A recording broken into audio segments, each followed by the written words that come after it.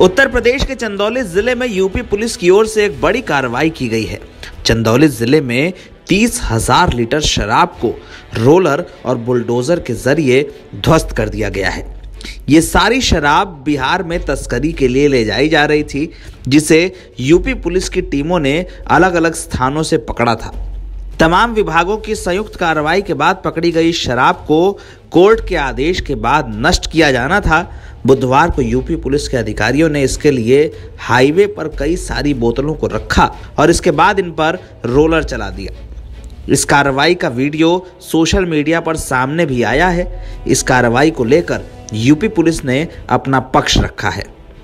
जनपद चंदौली में पुलिस अधीक्षक महोदय के निर्देशन में थानों पर लंबित मालों के निस्तारण का अभियान चलाया जा रहा है।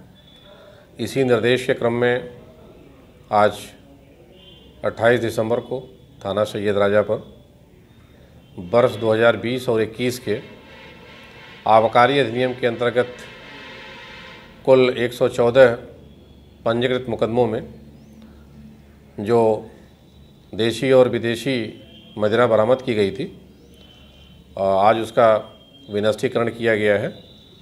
ये तेरह हज़ार चार सौ तेईस लीटर मदिरा, आज थाना सैयद राजा पर विनष्ट की गई है। इसमें देशी और अंग्रेज़ी दोनों तरह की मदिरा शामिल है।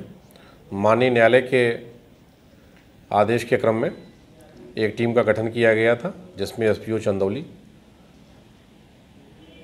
क्षेत्राधिकारी सदर, इंस्पेक्टर सैयद राजा और आबकारी निरीक्षक की टीम आबकारी निरीक्षक टीम में शामिल थे। इस टीम के द्वारा आज लगभग तेरह हज़ार चार सौ तेईस लीटर मदिरा को विनष्ट किया गया है।